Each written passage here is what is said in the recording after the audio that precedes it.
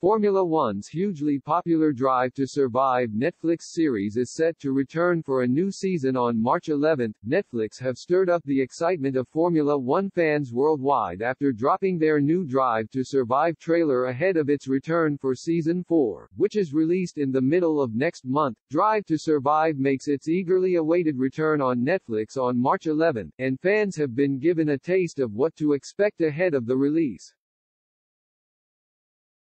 Season 4 of the hit docuseries is set to be the most exciting yet, with the show covering the chaos that unfolded in the 2021 campaign, of course the dramatic finish that saw Max Verstappen pip Lewis Hamilton to the title on the very final lap of the season in Abu Dhabi is the main talking point, however, if the new trailer is anything to go by fans can expect drama throughout.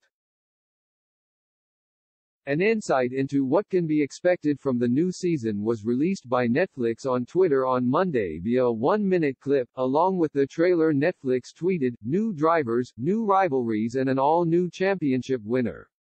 Formula One, Drive to Survive is back on the 11th of March. Within the trailer a number of the sport's biggest names can be heard giving intriguing soundbites, including seven-time world champion Hamilton.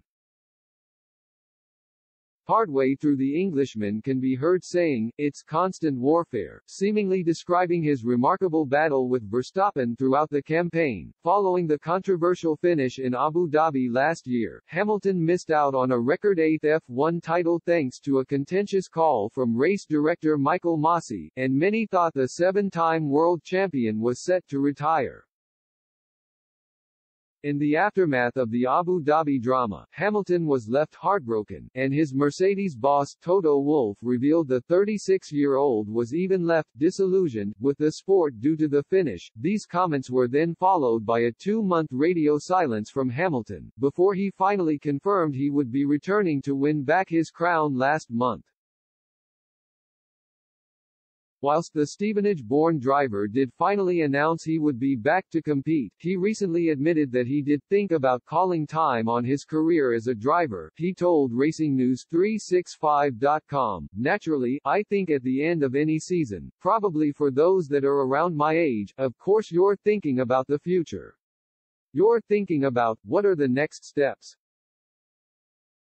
What are the right steps for you to take, and what's right for you in terms of overall happiness, so I always evaluate all my options.